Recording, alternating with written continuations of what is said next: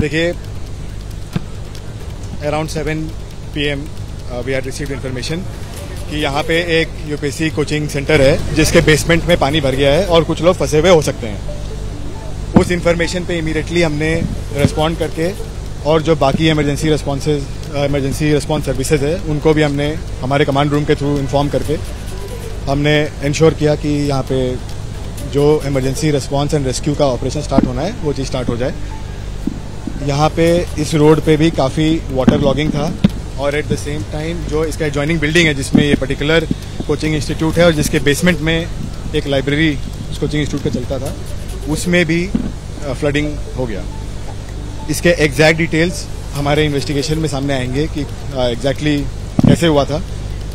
But you can imagine कि वह ना basement full of furniture and other thing मतलब जो 12 फीट के करीब डेप्थ होगा और करीब अराउंड 3500 स्क्वायर फीट का एरिया होगा बेसमेंट का। तो उसमें जब पूरा पानी भर गया तो आ, कुछ स्टूडेंट्स वहाँ से भागने में सफल हुए और कुछ की ट्रैप होने की इन्फॉर्मेशन आई तो हमने जो एनडीआरएफ के डाइवर्स हैं उन्होंने काफ़ी मशक्कत करके क्योंकि in complete darkness they had to operate and the water was also very dirty not clear at all और जो फर्नीचर वगैरह है वो फ्लोट करने लगता है उसमें तो they had lot of difficulties they but they professional divers and they manage to retrieve two bodies two bodies so far and we have sent them to the hospital for further legal action rescue operations are still underway. The water is being pumped out.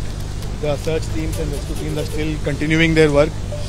There is still about seven feet of water in the basement जो pumping से कम हो रहा है but अभी भी सात feet के आसपास है. तो उसमें भी अभी भी हमारे डाइवर्स वगैरह जो है एनडीआरएफ पे काम कर रहे हैं. All the rescue services are working in tandem and we are trying to make sure that we do this as fast as possible it is my request to specially the student community कि इस यहाँ पर आकर rescue services को hamper ना करें।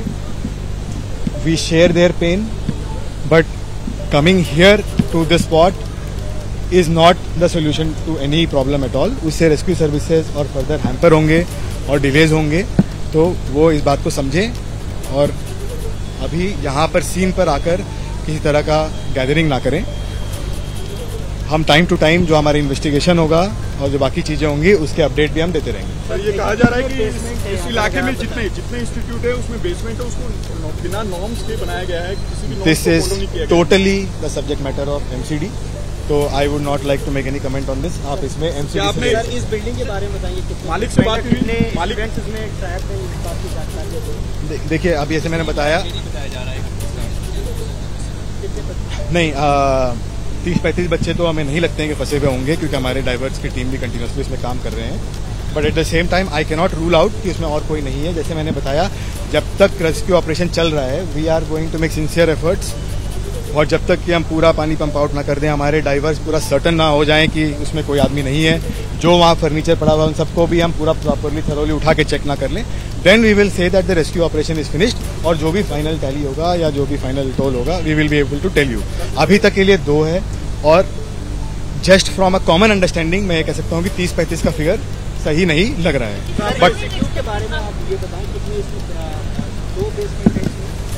नहीं, इसमें जो ये बेसमेंट है, इसको एक लाइब्रेरी की तरह यूज़ करते हैं और इसका फर्दर जो बाकी सारे चीज़ के whether this building was authorise whether इसका बेसमेंट वॉज़ ऑथराइज वेदर वहाँ पे जो बाकी सिविक नॉर्म्स फॉलो होने थे या वो सब थे कि नहीं that is all a matter of investigation which we will investigate we are registering a criminal case in this matter and we investigate तो ये हम आपको हर्षवर्धन को सुनवा रहे थे, ये आधिकारिक बयान दे रहे हैं और ये बता रहे हैं कि अभी भी सात फीट गहरा पानी भरा है, इस पर लगातार मैं सवाल पूछ रहा हूँ। न्यूज़ लगातार ये सवाल पूछ रहा है कि सात बजे खबर मिली थी और बारह बजकर चालीस मिनट पर मैं आपको ये अपडेट दे रहा हूँ। बारह फिट पानी सिर्फ़ पाँच फीट ही निकाला जा चुका है। अभी भी ये बता रहे हैं कि सात फीट पानी भरा हुआ है। ये दिल्ली के सिस्टम पर सवाल नहीं है क्या? ये राजधानी के सिस्टम पर सवाल नहीं है क्या? कि अब तक आप बारह फीट पानी नहीं निकाल पाए हैं, वो भी जब जहाँ पर, छात्र वहाँ पर फंसे हुए हैं। दो डेड बॉडीज वहाँ से निकाली जा चुकी हैं। दो स्टूडेंट को अस्पताल में भर्ती कराया जा चुका है। उसके बावजूद भी सात फीट पानी है। क्या वहाँ पे और मशीनें नहीं है दिल्ली में? क्या वहाँ पर रात है? वहाँ पर यातायात भी नहीं चल रहा है और मशीनें वहाँ पर नहीं लगाई जा सकती हैं कि जल्दी से जल्दी वहाँ से पानी हटाया जाए और इस रेस्क्यू ऑपरेशन को जल्दी खत्म किया जाए।